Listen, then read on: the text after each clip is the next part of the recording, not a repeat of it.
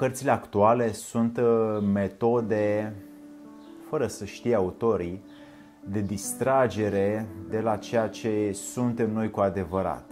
Cărțile bune sunt uh, rare și este greu să le găsim. Plebea va lua din cărțile fără de valoare uh, ceva din ele și vor crede că sunt utile.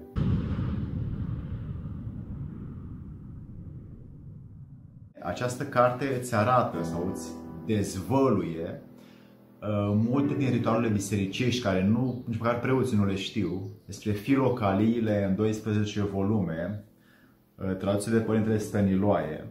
Pentru mine, uh, valoare este această carte, întâlnire cu oameni remarcabili. Vani Pico de la Mirandola pe mine m-a ajutat enorm să văd în spatele ideilor care sunt propagate astăzi în societate. Giovanni Pico de la Mirandola a scris această carte uh, despre demnitatea omului sau 900 de teze, carte care te ajută să-ți vindeci organele cu probleme, anumite dureri. Este o carte care deschide posibilitățile omului să cunoască divinitatea prin yoga.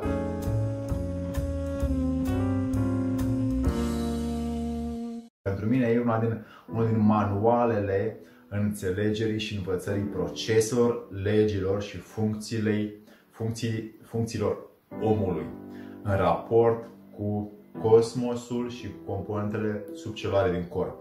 Ar fi bine să îți notezi din ea lucruri pentru că atât de mult îți dă cunoaștere, informație și înțelegere.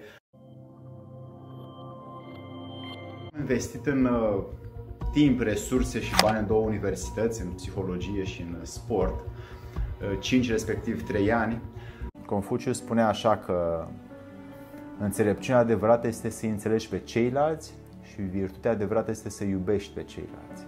Deasupra, la intrare pe poartă în templul din Delphi, scria în grecește cunoaște pe tine însuți mai întâi. Deci mai întâi cunoaște pe tine însuși, după aia intri aici.